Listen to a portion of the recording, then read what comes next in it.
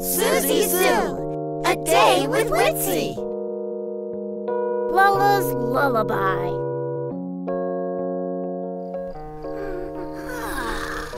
It's bedtime, but Witzy and all of his friends are still awake. In fact, Witzy and Boof aren't sleepy at all. Hmm? Hmm.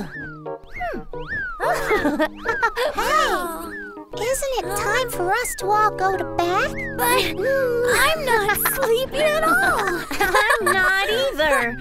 Ah. all right then. I'm gonna do the sleep dance. Ah. Ah.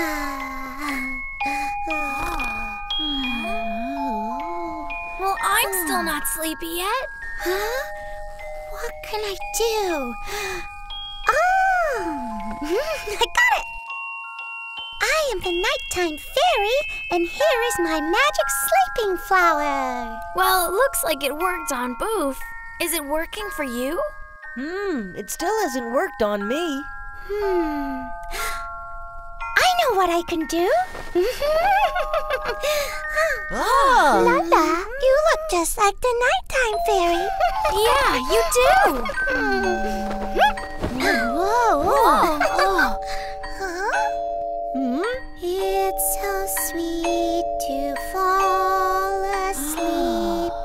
Oh, la la la la la.